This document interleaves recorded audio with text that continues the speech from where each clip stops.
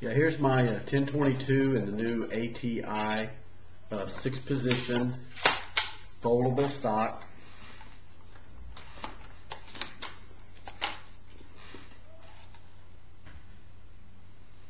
Everything fit fine. The only issue was the spot space right here for the existing iron sights.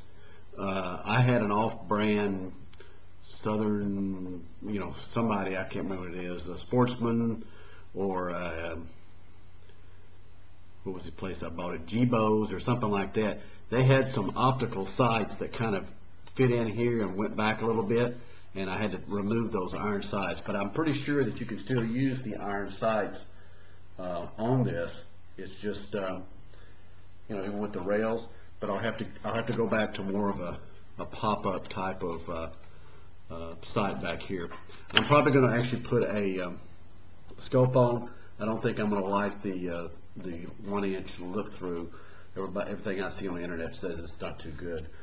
But anyway, I'll probably also put a tripod on the, a tripod on the front with the uh, or the, the foregrip combination tripod, foregrip, flashlight, or LED or something. Just get one of those combos. You can buy those from China for like 20, 30 bucks. But it's got uh, two two inches around it, a four inch on the bottom to put the put, put that on it.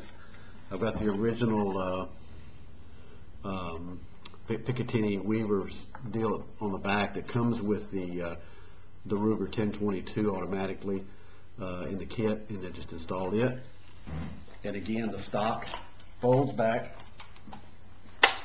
like this, uh, and there is a tilt down tube uh, adjustment uh, or, or deal actually makes this tilt so that when you're over, you don't have to lean way over the gun. You can actually stay straight up and shoot to shoot the gun. So I still got to put the little face, the cheek uh, shield here, glue that on, and I'm gonna go find me a, a scope because I'm pretty much uh, too old to see through these old sights. Even though I like these fiber optic sights, I think I think uh, just to put me a nice little scope on here will be fine.